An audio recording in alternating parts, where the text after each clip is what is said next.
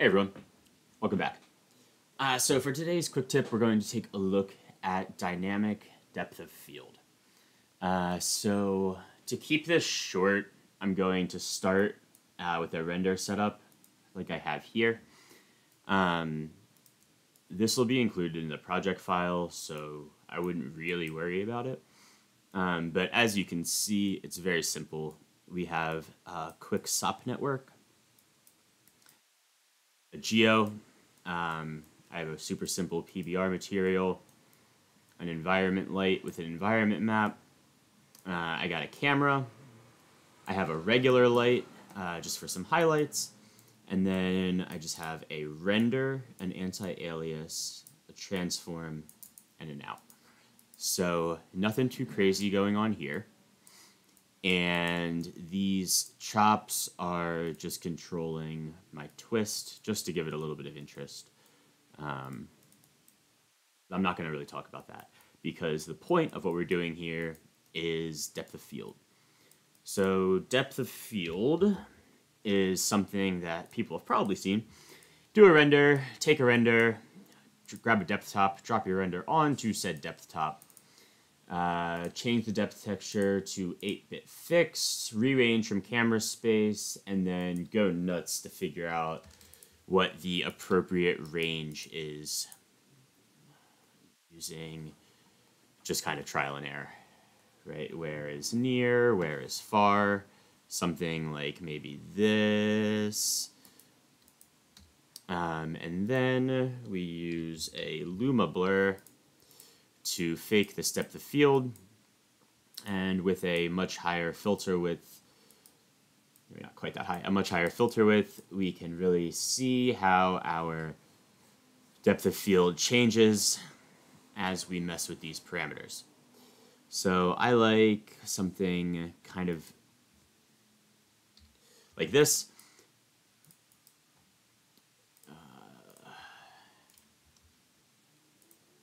split this to make it a bit easier. Um, all right, so yeah, I like the depth of field to be kind of just where just the very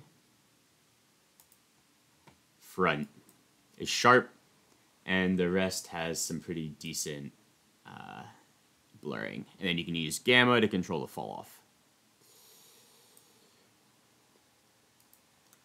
Now, that is all well and good, but let's say we wanted to move our camera around, or zoom our camera in, or zoom our camera out. You can see that our depth of field is getting all messed up because the actual depth is a function of where our camera is in 3D space. Um, and so we have to do a little bit of work to make this dynamic, um, which is super, super helpful. If you're doing anything like camera animations, um, or just generally don't want to have to be messing around with your depth top all the time as you are going through developing your scene. So, what I will do is drop a null, uh, whoops, a null component I will call this, um, well, actually, I don't even really need a null. I can just use this geometry. So I'll use that geometry. I will grab an object top. Now the object top will let you put in two different objects um, and then do some calculations with them, which is pretty much exactly what we need because what we need is a procedural way to figure out how far away our camera is from our geometry and then use that distance to rearrange our depth. So I will first look at the docs. We can see that the object chop compares two objects and output channels for their raw or relative positions. That's exactly what we need. Specifically, the distance between the origin of two objects. So the target object, the object that is being compared to the position of the reference object. And then our reference object is the object that acts as the origin of the comparison. Okay, so we want our distance to be positive. So I believe we want our camera to be the reference. We want our geo to be the target. And we're going to change our output to measurements and then just get the distance. Now, if this is right, then as I'm zooming, whoa, as I'm zooming, we can see that our distance here is changing. And so we're basically going to just use this distance to run our depth top. So I will collapse all of that.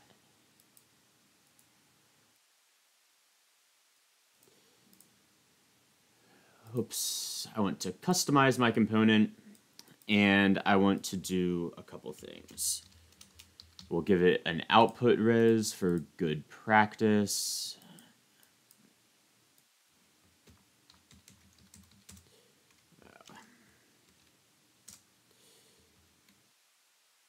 1920 by 1080. Uh, and then we will say depth near adjust, which can be a float, and depth far adjust, which can be a float, and then we can have depth fall off, which can also be a float.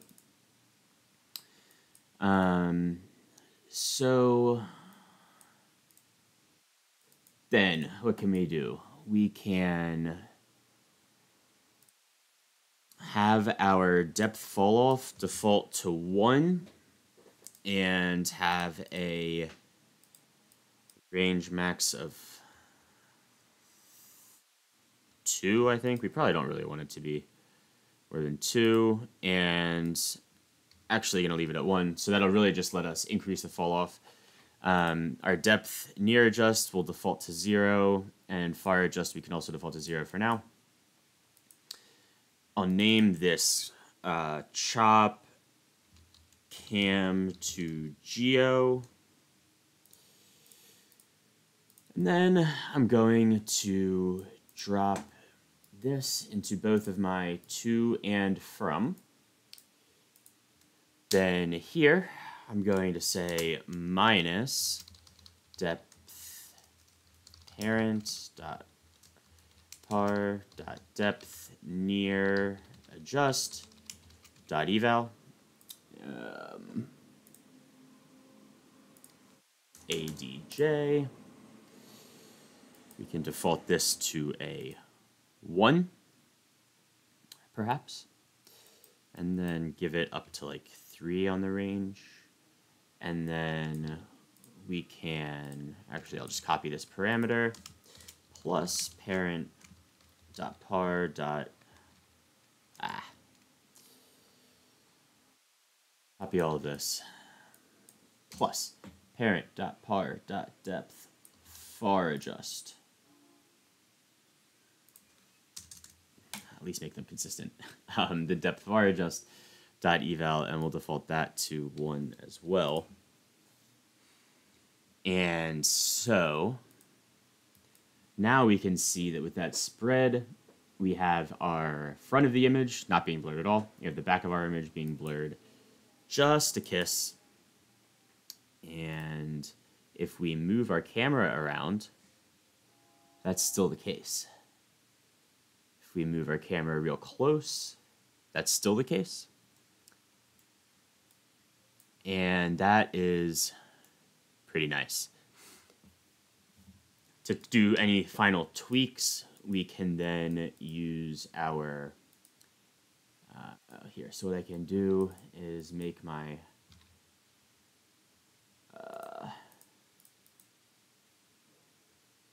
oh, it's fine, I'm not going to do that. But to do some fine tuning, you can then just change the depth near adjust or the depth far adjust, and that will kind of bring things into focus, as well as use the fall off to fine tune things even more. So now you have a, oh, that's why our fall off wasn't working.